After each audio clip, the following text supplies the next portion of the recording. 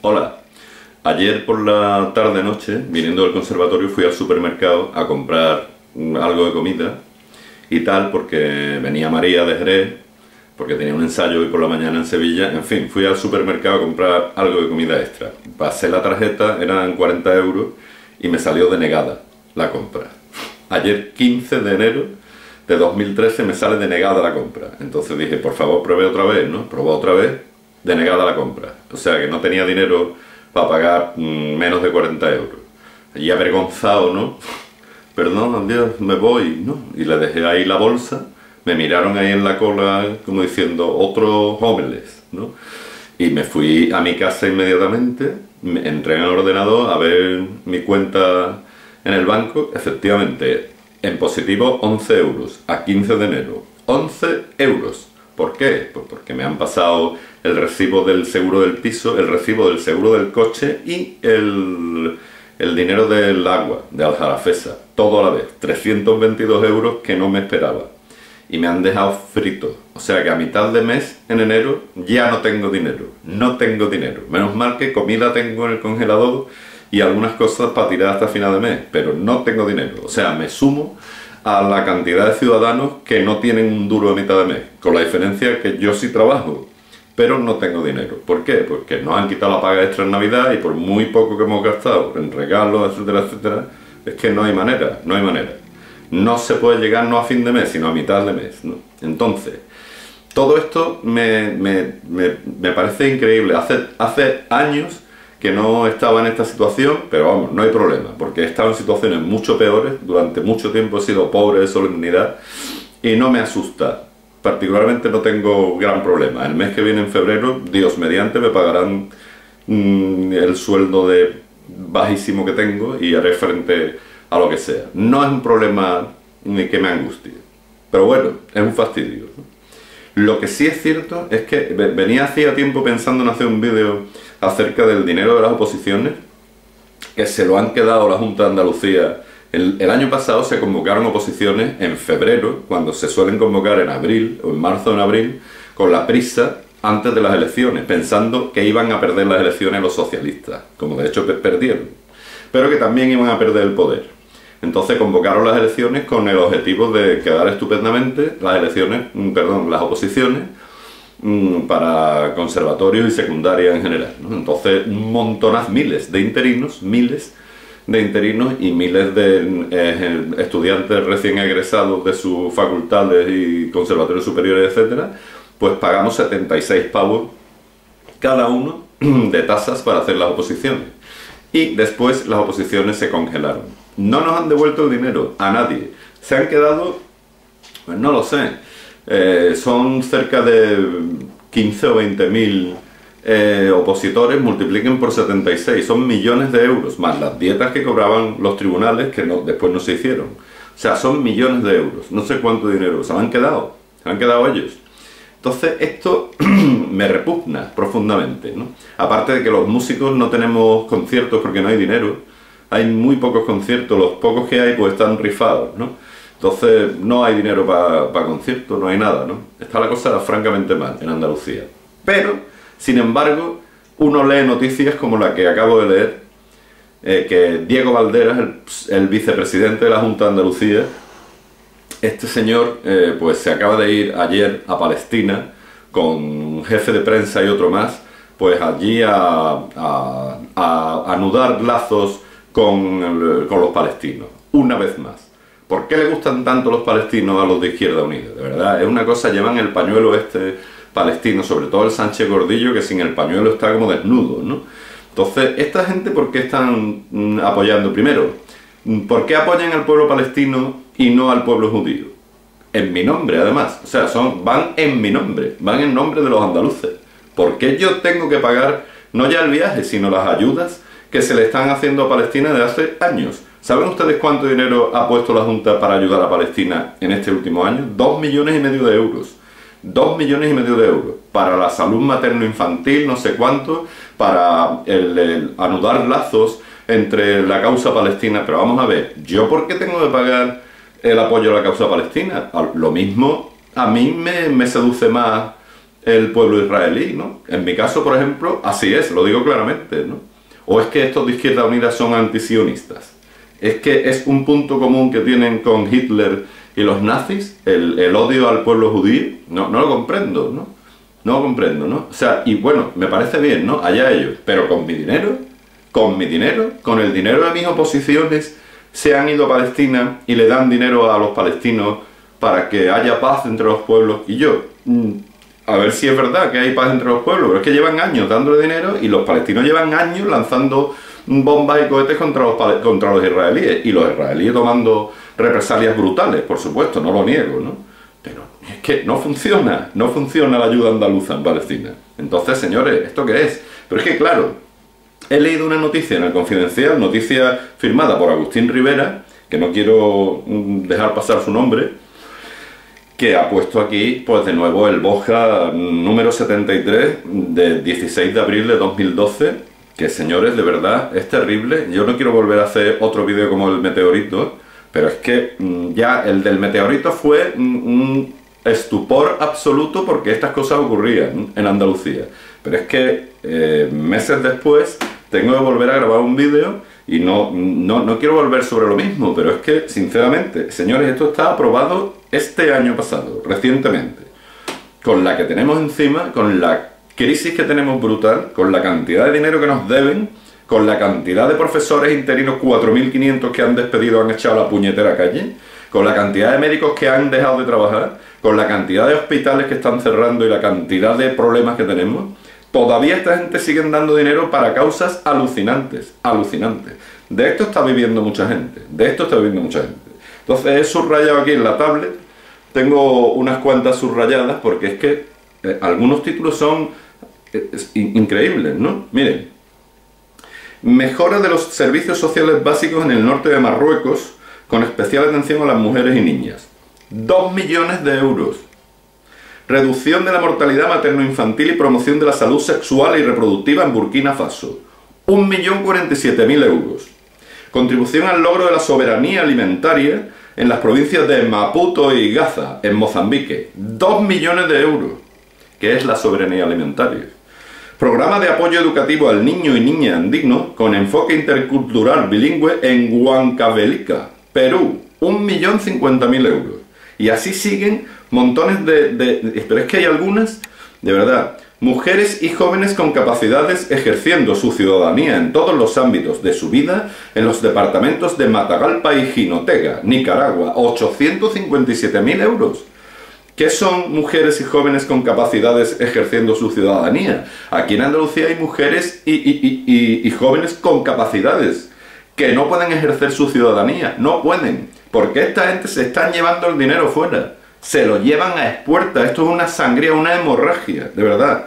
Mejora de la salud integral de la población mediante el acompañamiento a la reforma de salud y la promoción de los derechos humanos con enfoque de género, por supuesto, en 10 municipios del Departamento de la Paz, 1.027.000 euros. Fortalecimiento del sistema público de educación atendiendo a acortar la brecha de género, otra vez el género, en la escolarización primaria y secundaria de las zonas rurales Tánger y Tetuán, Marruecos, 1.863.000 euros. Programa de Desarrollo Territorial Integrado en la provincia de Angaraes, Perú. 2.057.000 euros. ¿Qué es eso? Y así siguen Nicaragua, Ecuador, El Salvador, y así sigue y sigue, y se encuentra uno esto, ¿no? Proyecto de mejora del nivel educativo, la formación profesional y el acceso al empleo de 335 jóvenes palestinos del distrito de Hebrón. 300.000 euros. Impulso de iniciativas agroempresariales para mejorar productividad y competitividad de productores de cacao del corredor Maya, Honduras. 300.000 euros. Van a mejorar el cacao. Pero cacao, cacao, el que tenemos aquí en Andalucía. Aquí sí que tenemos un cacao, pero un cacao. Un cacao gordísimo. Y más cacao que se va a formar si esto sigue así. ¿eh? Creación de empleo en invernaderos agrícolas y de infraestructuras de almacenaje de agua en Halul, Hebrón, Tafú y Sihú, territorios palestinos. 300.000 pavos. Y así sigue Bolivia, Marruecos, no sé cuánto. Por favor, el chocolate es que les priva el chocolate. Chocolate artesanal y ecoturismo para el desarrollo socioeconómico local del Distrito Municipal de Boyá, provincia Monteplata, República Dominicana. 242.000 pavos, pavo para chocolate. El Salvador, Bolivia, Malí. Fortalecimiento de conocimientos y prácticas de políticas públicas para la ciudadanía y la transformación social en Perú. 233.000 pavos. ¿Pero qué es esto? Fortalecimiento de conocimientos y prácticas de políticas públicas para la ciudadanía. Esto, esto. Fundación Social Universal. Hay un montón de fundaciones de estas que están viviendo de esto, claramente. Si les llega el dinero, ¿eh? Si les llega el dinero, porque esas otras, ahora Senegal, Mali, Guinea-Bissau, Mozambique, fortalecida la sociedad civil del distrito de Magude a través de la participación ciudadana y su incidencia sobre la administración local, 284.000 euros. Eh, mejora de la infraestructura del complejo escolar Marie Madeleine Frescobaldi en el barrio de Mbasa 3, Kinshasa, Congo, 300.000 pavos. Yo, 300.000 pavos, aquí sí que hay, que hay que mejorar colegio, de verdad. El colegio donde, donde está María, en Jerez, dando clase, que es un conservatorio, un colegio metido a conservatorio, se le caen los, los azulejos de la pared. Se le caen los azulejos de la pared, que tiene peligro de, de derrumbamiento. Y se tienen que ir a la República Democrática para mejorar las condiciones de un colegio Coño, que, que, tenemos los colegios que se están cayendo en Andalucía, tío, que se están cayendo los colegios en Andalucía, que se les están cayendo los techos encima a los niños, y todo el dinero para el Congo. Es alucinante, perdonad, estoy cabreado ya, ¿eh? porque es cabreante, vamos. Y esto que me lo traduzcan. Kipa Kausajinichka Alichatspa, Perú, 279.000 euros. Que me lo traduzcan. Kipa Kauyajidishka Aliyaspa. De verdad, entra en ganas de coger un fico, un rondador e irse a la calle a pedir dinero. Ponerse un gorrito peruano, a ver si te ve alguno de Izquierda Unida y te paga la comida. Que en, en mi caso me harían un favor, porque no tengo dinero ya para comer. Vamos. Creación y fortalecimiento del Centro Multimedia Comunitario con enfoque de género en la isla de Boubaque, Guinea-Bissau. 162.000 pavos. Mejora de las condiciones socioeducativas de 26.000 mujeres y 24.000 hombres de los sectores de Veranda y de Catio, región de Tombali. 300.000 pavos. ¿Cómo se mejoran la, las condiciones socioeducativas con 300.000 pavos? No sé. Protección de la infancia afectada por el conflicto a través de la promoción de la educación y los derechos del niño en el Congo, 296.000 euros. 231, 241, 232.000, ahora 300.000.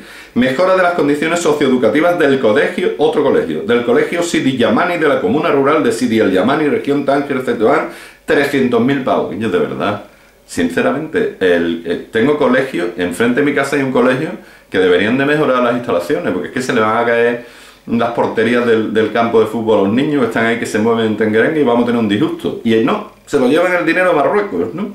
Mejora de la educación bilingüe intercultural para el desarrollo de las comunidades indígenas de la selva de Atalaya, Perú. 273.000 pavos. Vamos a mejorar, vamos a mejorar, dice, mm, ¿qué puedo hacer? ¿Mejorar las condiciones de vida de los andaluces? ¿Devolver el dinero que estoy robando? ¿O mejorar la educación bilingüe intercultural para el desarrollo de las comunidades indígenas de la selva de Atalaya. Mm, vámonos a la selva de Atalaya. ¿Cuánto es? 273.000 pavos. No importa, lo paga este que está aquí. Este que está aquí. Y ustedes que están viendo el vídeo. Alucinante, ¿eh? Autoridades y actores socioeducativos de tres provincias andinas de Ayacucho, fortalecidos en sus capacidades de gestión. Esto es inexplicable. 223.000 pavos. Que me expliquen qué son. Autoridades y actores socioeducativos de tres provincias andinas de Ayacucho fortalecidos en sus capacidades de gestión y tan fortalecidos con 223.000 euros no vea lo que se fortalece uno en su capacidad de gestión. Me dan a mí la décima parte, me dan 22.300 euros y no vea lo que me fortalecen. Es más, la centésima parte, 2.230 euros. Y me fortalecen el mes estil que viene.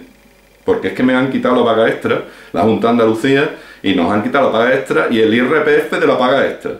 Aparte de que a mí me habían embargado 700 pavos de, de, sueldo en el mes de diciembre, me han dejado tirado, hecho polvo. Pero no importa, aquí estoy para pa mantener a Perú ¿no? y a Ayacucho totalmente. Por favor, prevención y mitigación de riesgos por frío extremo en comunidades de los distritos arequipeños de Chachas y Callarani. 528.000 euros. Más de medio millón de euros para prevenir y mitigar los riesgos de frío. Una manta, una manta. Medio millón de euros, de verdad. asombroso, ¿eh? Y así todo, pero es que desarrollo de políticas y estrategias de reducción de la vulnerabilidad de la población y al riesgo de desastres con la participación de instituciones públicas y ciudadanía en el Valle de Cusco, Perú, 1.169.000 euros. Después, otra gestión de riesgo, 594.000 euros. Fortalecimiento de gestión de riesgo, todo, todo fortalece la gestión de riesgo. 232.000, en los territorios palestinos 242.000, en Paraguay 300.000, en Palestina 224.000. Son millones de euros. Millones de euros, además lo tienen previsto para hasta 2014, ¿eh? o sea que están absolutamente de espaldas a la realidad andaluza. Y aquí, pues, montones de dinero, montones de dinero, todo para Andalucía, pero, pero cosas extrañísimas, ¿no? Que he subrayado unas cuantas porque no las entiendo, ¿no? La aplicación del enfoque basado en derechos entre los actores del sistema andaluz de cooperación. Andalucía, 45.800 pavos. ¿Qué es la aplicación del enfoque basado en derechos entre los actores del sistema andaluz de cooperación? De verdad, yo me he leído el Ulises de Joyce. Yo me he leído el Ulises de Joyce dos veces, ¿eh? Y la primera vez me costó trabajo, ¿no? Pero la segunda vez, bueno, la primera vez me enteré bien. El Ulises. Y yo esto no lo entiendo. No entiendo qué es la aplicación del enfoque basado en derechos entre los actores del sistema andaluz de cooperación. Lo que sí entiendo que son 45.800 pavos.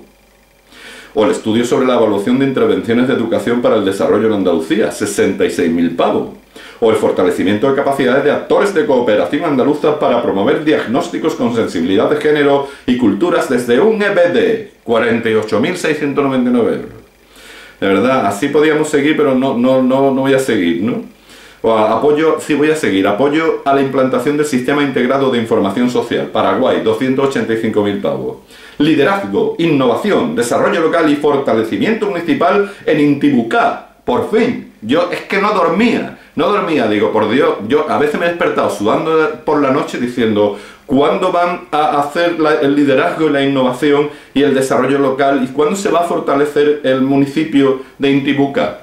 614.000 euros. Coño, lo merece, merece mucho la pena los 614.000 pavos que se van para Intibucá, Honduras.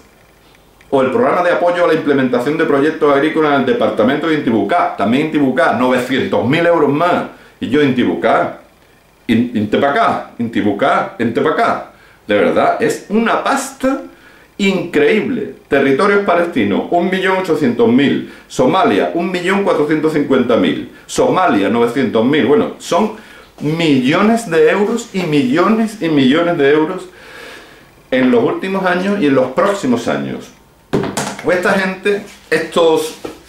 Eh, me van a disculpar que los defina con una palabra que San Juan de la Cruz ya utilizaba en su noche oscura del alma, son unos chorizos, unos miserables y unos sinvergüenza que se están buscando que el pueblo se levante de una puñetera vez y pase algo, ¿eh?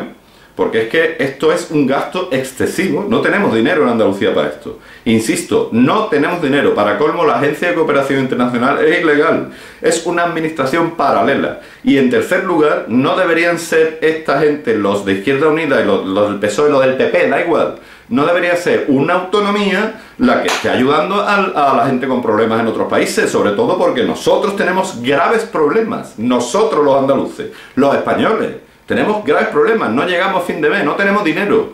Los que trabajamos, los que trabajamos nos tenemos que ir con la tarjeta avergonzado a casa porque no tenemos dinero a, mitad de enero para pagar la comida, coño. Y esta gente se están gastando los millones de euros en viajes y guaguagual de este palestino, no sé qué. Sin vergüenza, chorizos, cabrones, miserables. Devolvernos lo que es nuestro.